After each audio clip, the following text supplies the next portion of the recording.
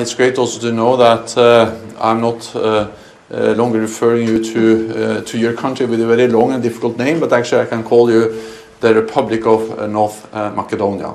This is a great moment for all of us.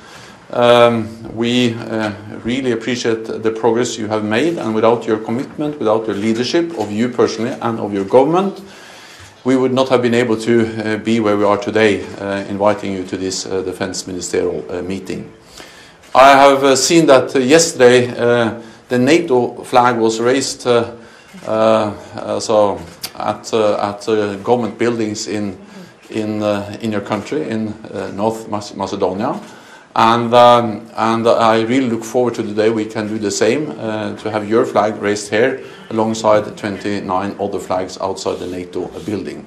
So uh, this is a great day, and I really look forward to the day we can have you as a full member when the ratification process is finished in all the 29 allies. We have shown that we are capable of finding the right solutions, and this is the reward, not only for me, not only for my government, but also for our people.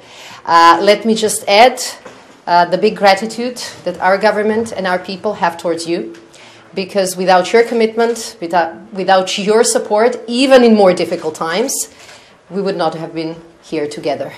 I'm here to pledge uh, our uh, firm belief that we can commit, that we can uh, follow with action, with deeds, with measures to contribute to our joint stability and to contribute to NATO.